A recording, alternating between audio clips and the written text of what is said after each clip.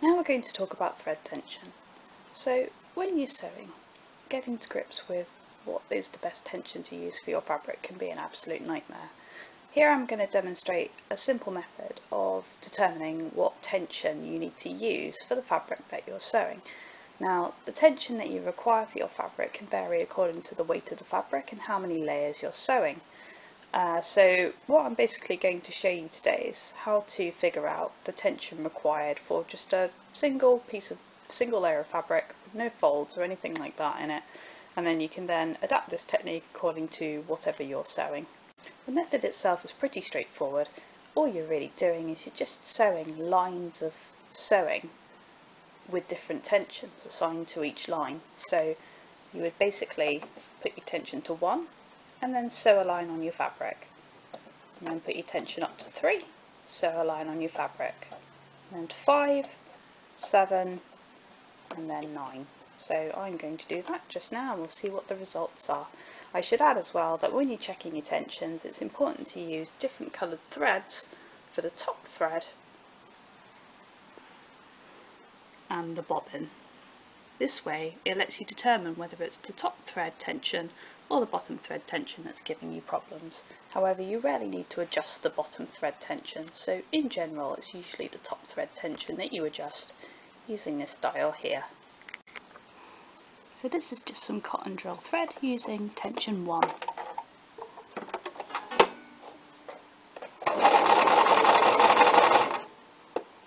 You don't need to sew that much, just a little bit of a line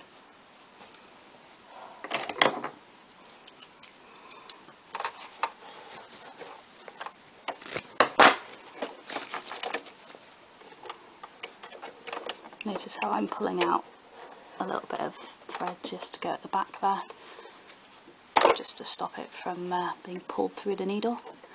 So this is now number three.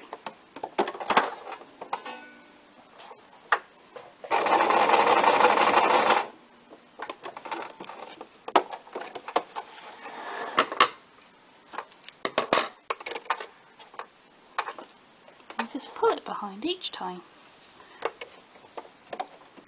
five.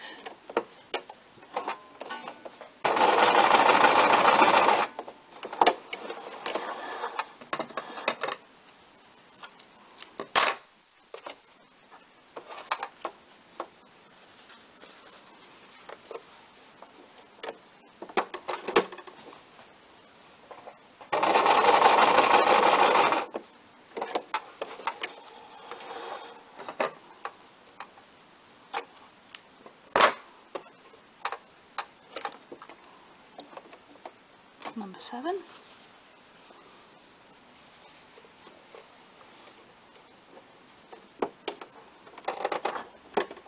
I just realised I did number five twice, it's kind of early in the morning here, but never mind.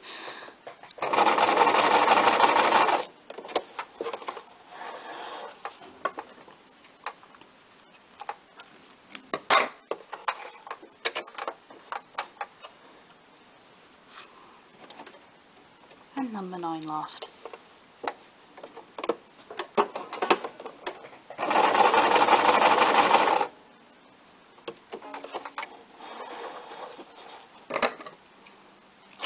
Okay, I've got quite a lot of loose threads here so I'm just going to tidy that up before I show the end result.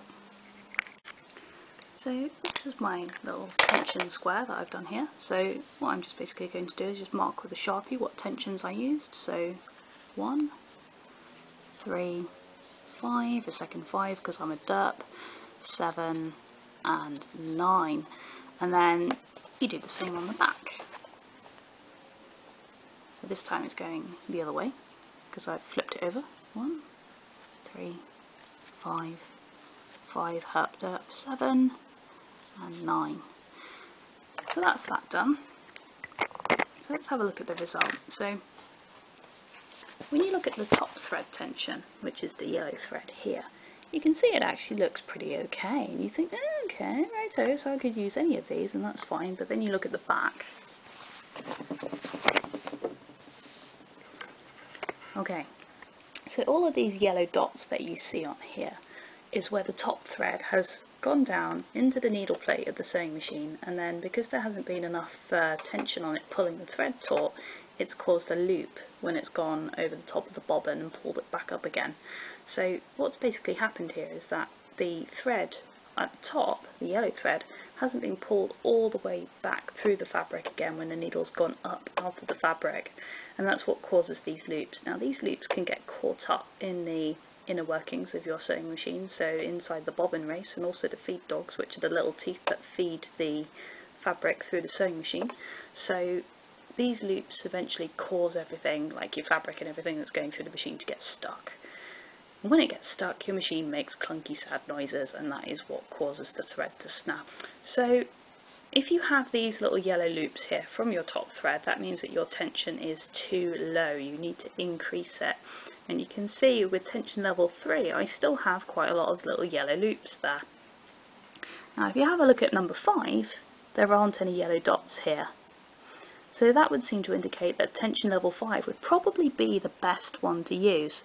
But if you look at the, the second lot of tension level 5 that I've done here, you can see I do have a little bit looping at the start and the finish.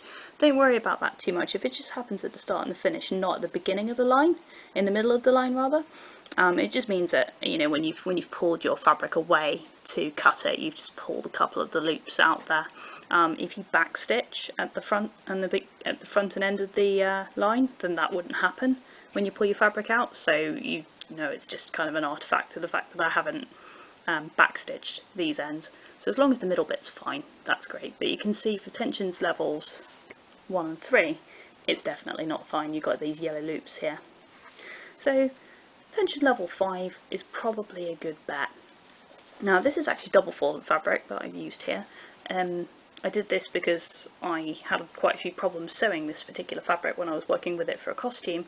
Um, I was sewing a layer of bias binding over the top of that and that required me to put the tension level up to 7 in order to get it to sew properly because I was getting quite a lot of looping because I'd added an extra layer of rather stiff bias binding to the fabric to be sewn so that's why I've double folded this to increase the amount of tension required. I reckon that probably if I hadn't folded it over a tension of 4 would be about sufficient. This is some cotton drill that I've used. Um, it's a slightly heavier form of cotton actually um, and uh, you can see here that I've got some looping for my pink uh, top thread which is here so um, that's tension level 1, this is number 3 then with number 5 you can see that the stitching is starting to go a little bit crooked. Um, and then the tension level 7s and 9s they're also looking slightly crooked.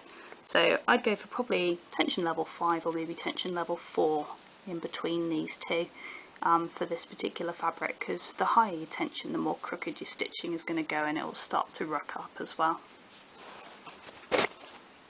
Next we have some silk. So silk is a very light fabric, it doesn't need a high tension. And this is what happens if you sew fabric that requires a low tension at too high a tension, it will start to ruck up.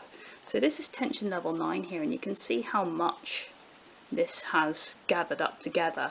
But even at tension level 7 and even 5 you can see there's still some rippling happening there. So if you go too low you get some looping as shown here so I've got little pink dots all the way down here because of the top thread looping over the top it still happens a little bit at level 3 so for this particular silk fabric here I would use tension level 4 in between 3 and 5 because 5 is too tight and 3 is ever so slightly too loose. And lastly this is the back side of some leatherette. So this is the front side. You can see it's kind of slightly vinyl kind of fabric almost. You can see all these top thread stitches look absolutely fine, but when you flip it over and have a look at the back, you can see I've got lots of yellow dots on tensions 1 and 3.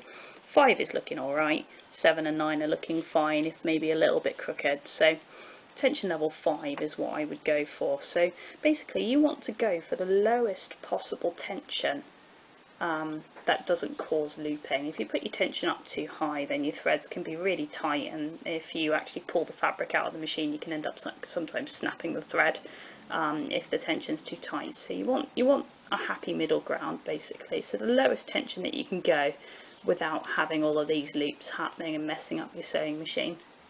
Obviously, if you sew at too high tension, then you're going to get loads of rucking up of your fabric. But generally, higher tensions are more likely to damage your fabric than they are to damage your machine. If your tension is too low, however, you get all of these loops that cause a bit of a bird's nest in your feed dogs. And that's basically what happens if you sew your fabric at too low a tension. It will just get stuck repeatedly. Your needle will snap, your machine will make lots of sad noises. And I'll just show a little video of that just now where you can actually hear the threads getting caught and you can actually hear the thread snapping as well.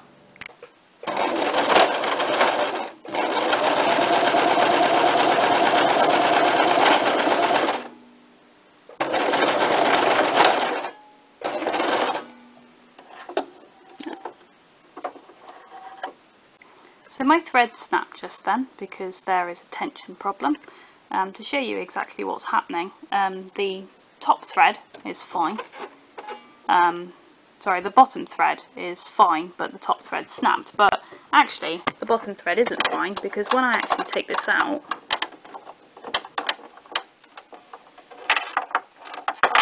if you have a look inside here, you can see that there is thread wrapped around the central post. So you can see, there we go, so I've just pulled that off, but that's how you can actually get snarling up happening if there's a tension issue. So what's basically happened is that um, the top thread has looped over the bobbin casing so much that it's actually pulled this out of the bobbin casing and so that's led to the bobbin thread being wrapped around this central post here. So I've been having problems with this all evening while trying to film this because naturally my machine, my machine decides not to cooperate when I'm trying to actually film something where I try to look competent. So um, with regards to actually fixing this, um, it's to do with the thread tension, so I'll talk more about that later. So I'm going to talk a little bit about machine maintenance now. So um, one of the first things is that every now and again your sewing machine is going to need a little bit of oiling just to keep the moving parts in it working properly. But you shouldn't be doing this without consulting your machine's manual first. Um, the machine that we've got is quite old, so I've lost the manual donkeys years ago. Um, this is an online version of the manual which I've got here. Um, so basically it's showing here to remove the outer cover of the sewing machine and um, it has a set of arrows to show whereabouts inside your machine needs oiling. Now you shouldn't be putting oil anywhere other than as indicated by these arrows because if you put oil in places where it's not supposed to go you might find you end up with oily thread or that you've got oil going into other bits of electronics and things that you shouldn't be putting it into and things like that. So let's just have a quick go at that just now. First things first, you want to just unplug your sewing machine entirely from the mains because you are putting something liquid into some things and if you put it into any electronic bits without meaning to, it could go very badly. So I've just completely disconnected the machine from the power mains. So this is the outer cover of the sewing machine, so let's just take that off. I've already unscrewed it previously, there's a screw that keeps it in place. And here we go. This is the inside of the sewing machine, all the bits that make it work. So you've got your bulb here, just a little aside thing that you can actually replace this. Um, you can see here you've got the maximum wattage um, that it will take. So it will only take 15 watts. If you put in too high of a bulb, which I did once by mistake, you end up with a nice burn mark on the outside of your machine, which is not really what you want. So make sure you put in a suitable replacement bulb that does not exceed the wattage stated on the label there. And here we go. So these are bits that needed oiling. So they wanted us to oil this bit here, that bit, this little drive shaft here, and this bit, oops, this bit at the bottom here. So that's where we want to put our oil. So you normally get a little bit of oil with your sewing machine. Um, it's mostly full because I don't really oil my machine probably as often as I should. So the machine instruction manual tells us to just put two to three drops of oil in each location. So I'm just going to put a couple of drops here and then a couple of drops on this shaft here and on this bit.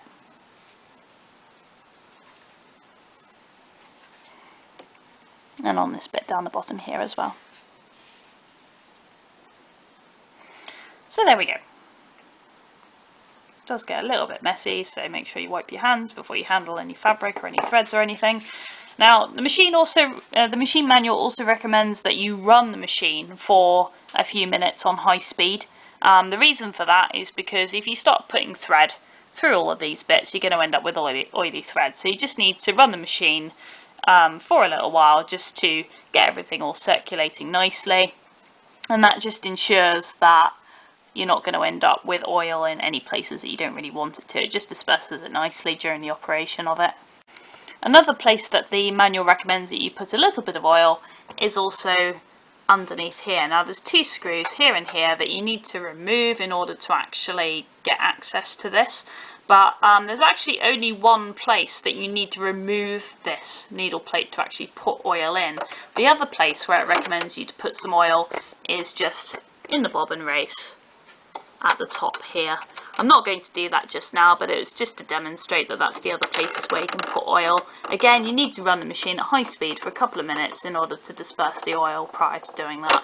The other thing that is important to do with your machine on a much more regular basis is to actually dust it. Now, if you have a look in here, you can see there's quite a bit of dust down here. That I've got a bit of light in here, you can see there's a little bit of dust on here. And there's some dust here as well. Now, I actually do this fairly regularly, so it's not actually looking too bad at the moment, but if you're working with uh, fluffy fabric or fleece or anything along those lines, you're going to need to give it a good brush out after you've finished your project, so just with a paintbrush, just give it a jolly good clear out, like so. Don't blow into it by the way because you're just going to blow all of the dust further into the machine. Best thing to do is just get a, get a brush and just get rid of the worst of that. Got a little bit underneath the, uh, the bobbin race there but it's not, it's not too bad overall.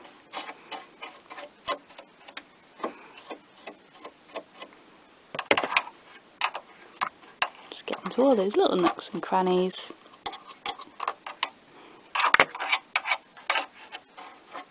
And there we go.